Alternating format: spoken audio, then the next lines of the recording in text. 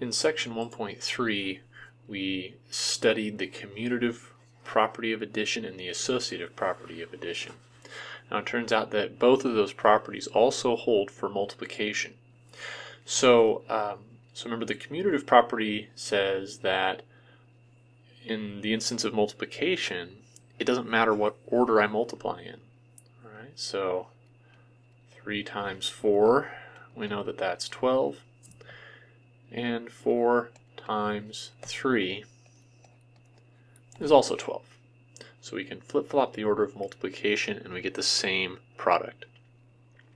The associative property of multiplication, um, remember, is just saying that if you have a set of three factors to multiply together, it doesn't matter whether you multiply the first two first and then the third, or the second and third and then the first. It doesn't matter at all. And so in this example here, we've got 13 times 5 in parentheses, then times 2 after that. And so we're being asked to rewrite this using the associative property and then of course simplify it.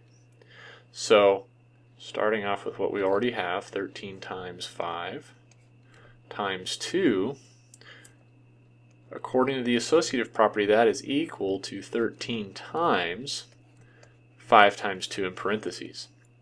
And you can see why this is so useful. Because here I was going to have to take 13 times 5 and then multiply by 2. But here I get to take 5 times 2 first, which is an easier product to start off with.